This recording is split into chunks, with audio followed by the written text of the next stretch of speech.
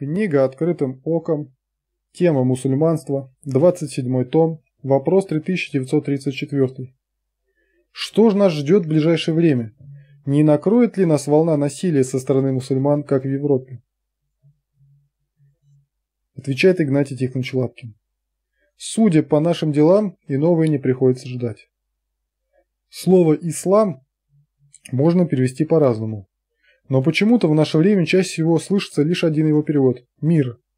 С экранов телевизоров, со страниц газет ученые, бородатые мужи и политкорректные политические деятели пытаются внушить нам, что ислам ничуть не хуже христианства, что он несет мир странам и народам, а портит его имидж лишь кучка распояшихся бандитов-извращенцев, которые где ударились в ересь. Вы не смотрите на них, они маргиналы, говорят нам. Смотрите на большинство мусульман. И мы смотрим. И видим. Улицы полные беснующихся от какой-то животной радости народа, отмечающего гибель трех тысяч мирных жителей, погребенных под завалами небоскребов в Нью-Йорке. Мы видим непрекращающуюся бойню в Ираке, когда шииты взрывают суннитов и наоборот. Причем по какой-то извращенной логике обвиняют в этом всех, в этом всем американцев. Мол, это они виноваты, уйдут, и мы тотчас перестанем друг друга убивать. Мы включаем телевизор и видим озверевшие толпы, штурмующие детские, датские, а под шумок и другие западные посольства, оскорбленные карикатурами на своего пророка. Можно сколь угодно теперь кричать о том, насколько это было уместно, этично, но стоит признать, вера многих европейцев в мирную сущность ислама оказалась тогда значительно подорвана. Поэтому гневная реакция на цитирование Папой Римским отрывка из средневекового трактата уже не показалась столь удивительной. Что же еще мы видим?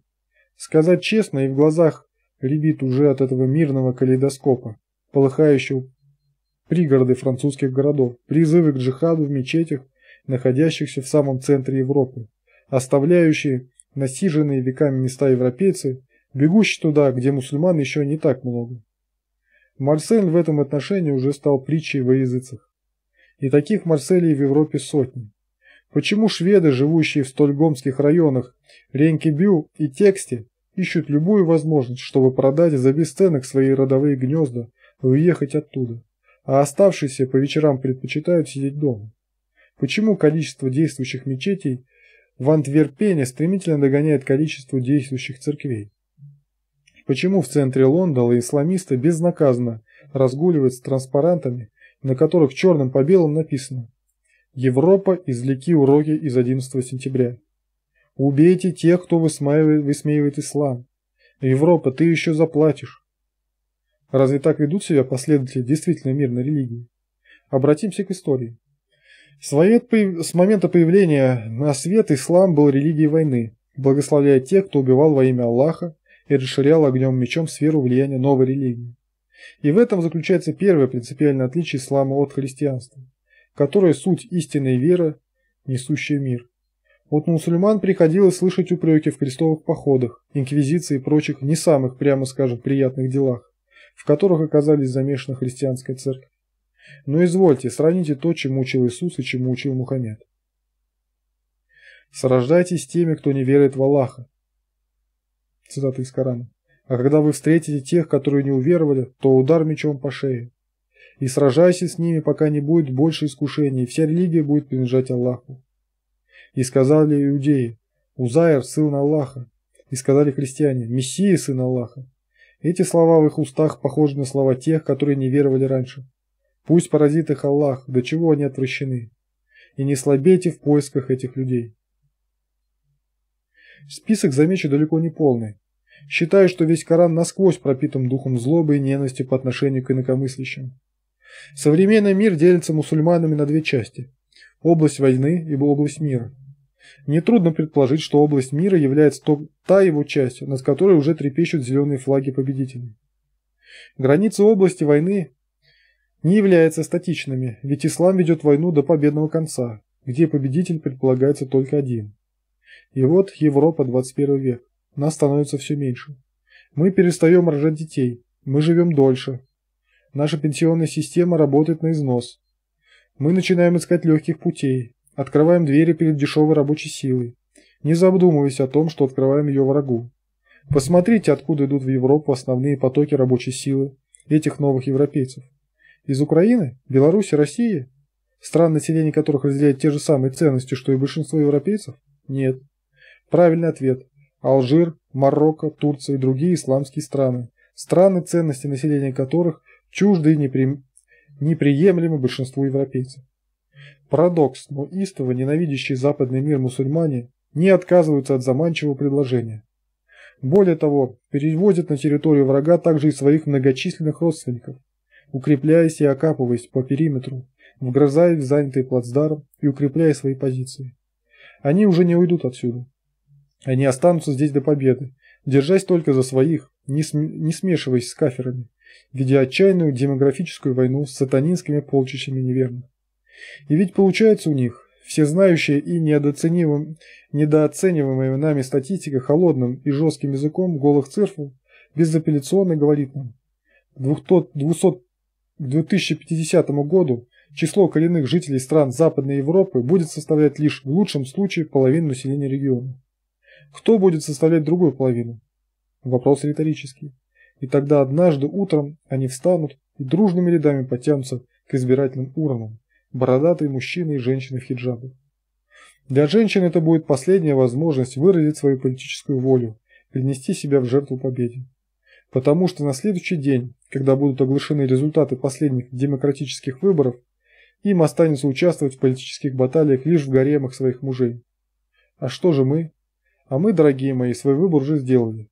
Никто нас не заставлял отказываться от своего Бога и посвящать всю жизнь ублаженные своей ненасытной плоти. Никто силой не заставлял отказываться рожать детей, тем более не стерилизовал. Бог дал нам свободную волю, и мы ей воспользовались. Мы сделали свой выбор, но духовный мир не терпит пустоты. Вместо Бога будет Аллах, миру мир. Крестовые походы Средневековья и современные беспорядки в исламских странах Турция, Марокко, Палестина, Индонезия, Пакистан, Иран, Ирак, Нигерия, Ливия, Саудовская Аравия, Сомали, Сирия и другие Представители мусульманских общины стали поджигать христианские храмы, крушить магазины и гостиницы. В окрестностях Майдугури беспорядки продолжались и в воскресенье. Полиция сообщила об аресте 144 участников беспорядков, которые были вооружены опасным оружием, ножами, заточками, железными цепями, а также канистрами с бензином, с помощью которых они поджигали церкви. Известно, что в ходе беспорядков была сожжена 31 церковь. Среди жертв субботних выступлений мусульман трое детей и католический священник, священник отец Майкл, которого сожгли внутри собственного дома. Сайт www.newsru.com slash world slash 20 feb 2006 slash nigeria.html по данным полиции, в результате вспыхнувших беспорядков по меньшей мере 15 человек погибли и были сожжены 10 церквей, несколько гостиниц, свыше 20 магазинов и около десятка автомобилей. Толпы разъяренных нигерийцев, нигерийских мусульман избивали до смерти и сжигали заживо иноверцев, сообщило агентство Associated Press. Большинство погибших были христианами. Демонстранты забивали их до смерти, сказал очевидец. В Нигерии исламисты, протестуя против карикатур, сжигали христиан заживо. Ссылка на сайт. Толпы разгневанных исламистов атаковали в пятницу здание посольства Дании в Индонезии. Около 300 членов радикальных исламистских организаций «Фронт защитников», «Ислама» и «Совет индонезийских маджахедов» с криками «Аллах велик» ворвались в фойе небоскреба и на 25 этаже которого находилось датское посольство, где разбили лампы и мебель. Дальше первого этажа манифестантам пробраться не удалось, поэтому фасад здания они забросали тухлыми яйцами и помидорами. Ссылка на сайт. rian.ru В минувшие выходные в Пакистане и Нигерии и Ливии протесты закончились столкновениями между демонстрантами и полицией, в ходе которых погибли десятки людей. Все началось с Ливии, где разбуфажировавшаяся толпа демонстрантов в минувшую субботу атаковала итальянское консульство в Бенгази. Ссылка на сайт newsru.com. Афганское движение «Талибан» предложило за голову автора карикатур на Мухаммеда 100 килограмм золота. Еще по 5 килограммов золота получит тот, кто убьет военнослужащих Дании, Германии или Норвегии. Ссылка на сайт newsru.com. Псалом 77, 34 по 37 стих. Когда он убивал их, они искали его, и обращались, и с раннего утра прибегали к Богу, и воспоминали, что Бог их прибежище, и Бог Всевышний Избавитель их, и льстили ему устами своими, и языком своим лгали перед ним. Сердце же их было неправо перед ним, и они не, не были верны завету его. Стихотворение. Кто верит в Магомета, кто в Аллаха, кто в Иисуса, кто ни во что не верит даже в черта назло всем. Хорошую религию придумали индусы, что мы, отдав концы, не умираем нам совсем. Стремилась ввысь душа твоя, родившая вновь с мечтою, но если жил ты, как свинья, останешься свиньёю. Пусть косо смотрят на тебя, привыкли к укоризне. Досадно, что ж, родишься вновь, на колкости гораст. И если видел смерти врага еще при этой жизни, в другой тебе дарован будет верный зоркий глаз. Живи себе, нормальненько. Есть повод веселиться, ведь, может быть, в начальника душа твоя вселится. Пускай живешь ты дворником, родишься вновь прорабом, а после из прораба до министра дорастешь.